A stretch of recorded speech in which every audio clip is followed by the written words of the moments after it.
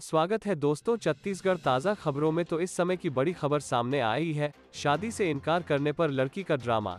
दीवार फांद कर पहुँची घर के पास, बोली रेप के मामले में फंसा दूँगी। अब थाने में शिकायत, छत्तीसगढ़ के कोरबा ज़िले में शादी से इनकार करने पर युवती ने फिल्मी स्टाइल में ड्रामा किया है।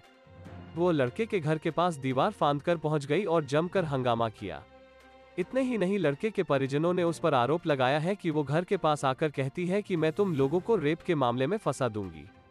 इस बात से तंग होकर अब लड़के की माँ ने मामले में शिकायत दर्ज कराई है। मामला रामपुर चौकी क्षेत्र का है। युवक के माँ ने शिकायत में बताया है कि हम इस लड़की के कारनामे से परेशान हैं। चार साल पहले उसकी दोस्ती मेरी बेटे से हुई थी। दोस्ती के बाद दोनों के बीच प्रेम प्रसंग था।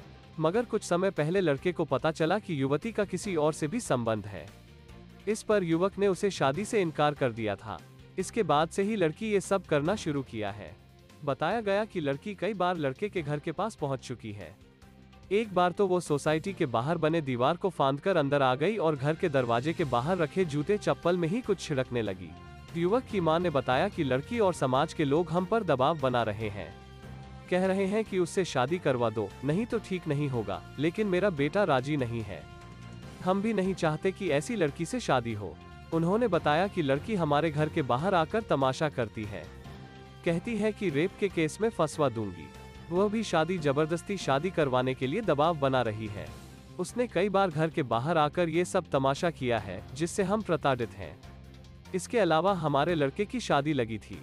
वहाँ जाकर भी लड़की ने तमाशा किया, जिससे शादी टूट गई। इसलिए हमने शिकायत की है। इधर, पुलिस ने मामले में शिकायत दर्ज कर ली है और मामले की जाँच जारी है।